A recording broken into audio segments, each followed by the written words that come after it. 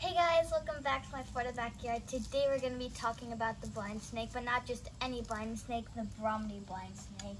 And as you guys can see, we have one here. The blind snakes are non-venomous and do not bite humans. They, um, their way of defense is either, um, the way of defense is either running away or digging down into the dirt or whatever you found him in, or um, or her in, or um, touching the tip of their tail to your skin.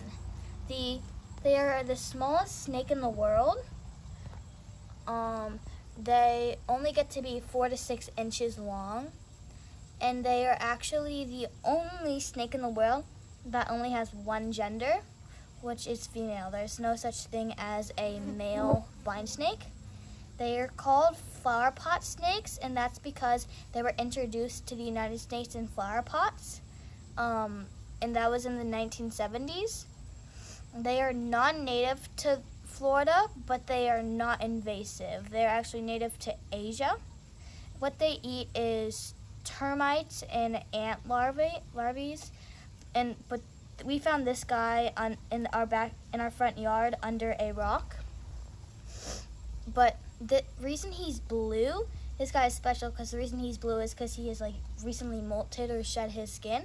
They're usually a darker or blue. They're usually a darker or a blue. I mean a darker or a black.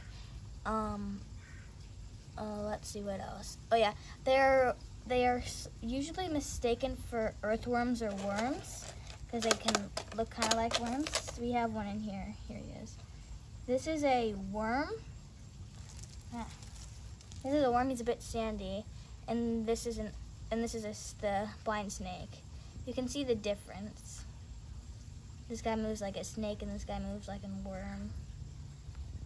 Um, well, put this guy back. Um, let's see what else. Um, some people, so I already said this, but the tip of their tail is not, does not hurt, and just not and does not hurt you. But you can see he's trying to touch the tip of his tail to my skin right now.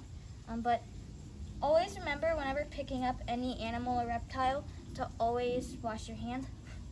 Um, but that's really it. See you guys next time in my Florida backyard.